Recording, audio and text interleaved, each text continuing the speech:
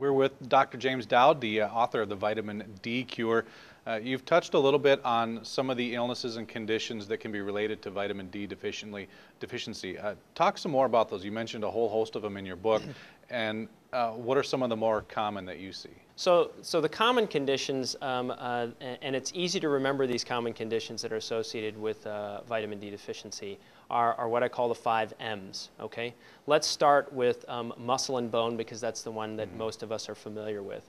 So vitamin D is very important in building bone mass, particularly during late fetal development, second and third trimester, okay. and throughout childhood. And, and a whole host of studies have come out now showing that if your bone mass is low early in childhood, your risk for low bone mass stays with you as you age, meaning osteoporosis, which we think of as a disease of elderly mm -hmm. patients, may actually start in childhood by just not saving up enough bone. You can think of your, your, your skeleton as a, a, an IRA, a, a retirement account, and you've got the first 20 years of life or so to fill that account up and then it's got to last okay. the rest of your life, okay? And if you don't fill it up, you start behind the eight ball, mm. okay? So, and so bone is very critical, uh, um, uh, de dependent on vitamin D for, uh, for optimizing bone mass, okay?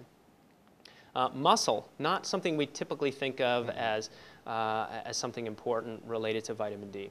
But um, studies show in elderly populations uh, that deficient patients are weaker. They have less grip strength, they have less quadricep strength, and they have less balance and coordination. So when they have these sit-stand tests where you sit in a chair, you walk 20 feet, you turn around, you come back, you sit back down, and you can time this. And when they do this in elderly patients who are vitamin D deficient, it takes them a lot longer to mm. do that uh, than uh, uh, when their vitamin D level is normal.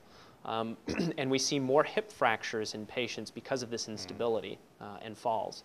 So muscle and bone are important. Uh, uh, uh, when it comes to vitamin D. When you talk about muscle and bone, I think it's interesting, and most people I don't think know this, how important it is early in life to establish that. I mean, most of us as young kids and teenagers aren't probably eating well and doing the things that we should, but that's when it's most important.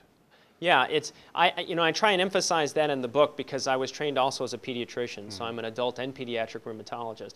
Um, uh, is the importance of vitamin D. Vitamin D is an anabolic hormone. You think about anabolic and catabolic hormones. Anabolic hormones, we all think of the sports on TV and uh, mm -hmm. people abusing human growth hormone um, and testosterone and these sorts of things.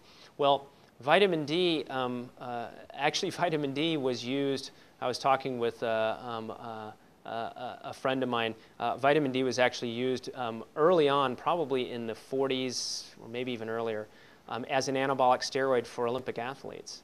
Um, uh, in Eastern Bloc countries, they thought, okay, this stuff is important for bone and muscle, and and no one's looking for it, so maybe we can just like tank our athletes up with vitamin D, and it'll have we'll have an advantage. So there were some thoughts that it may have that. Now, it's certainly not as effective as human growth hormone yeah. and uh, um, testosterone in, in, in, those respects, but it still is a weak androgen, um, hmm. uh, and and so as an androgen combined with all the other growth hormones that we have during childhood and we're building bone and muscle mass, growing, um, it, it plays a facilitative role in accomplishing all of those tasks. Mm. And when it's not there, things are not optimized, mm, okay? okay. Um, uh, and that places us a greater risk for things like osteoporosis at the other end and probably osteoarthritis at the end because what we know now is that osteoarthritis is probably more of a bone disease than a joint disease. Yes, your cartilage is deteriorating, mm but it's deteriorating because the foundation it sits on, your bone, is not healthy. Mm. Okay?